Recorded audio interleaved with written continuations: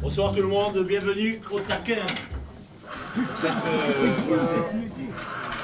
quatrième euh, nuit, euh, soirée du- de cette Jazz Week, avec ce soir un invité qu'on a déjà eu hier.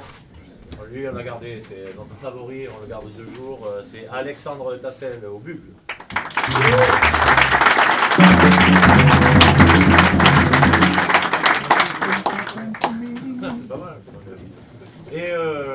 Saxophone ténor, euh, Guillaume Naturel.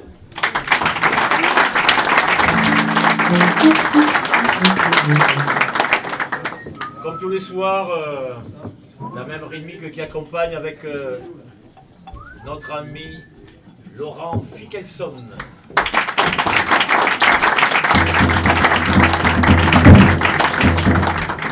Et à la contrebasse, Julien Dutu.